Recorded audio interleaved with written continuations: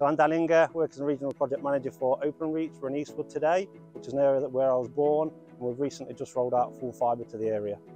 I started as a, an apprentice engineer 20 years ago, so I've visited uh, customers that have been only been getting half a meg and a meg, and then up to two meg. So to put something back in and give them up to a gigabyte broadband is absolutely fantastic. People are absolutely ecstatic. Um, residential people, it means that they can work from home.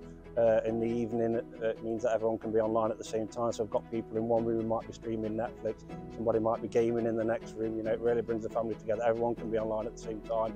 And then businesses as well. My dad owns a, a local business and he can be much more productive now, now that he's got the more reliability and the faster speeds. Where we are today, Eastwood, it is quite built up, so that's been quite quite easy and straightforward. Um, we've had a, a contract firm called MAP working on the project. They've been absolutely brilliant. They've managed to bring it in ahead of plan.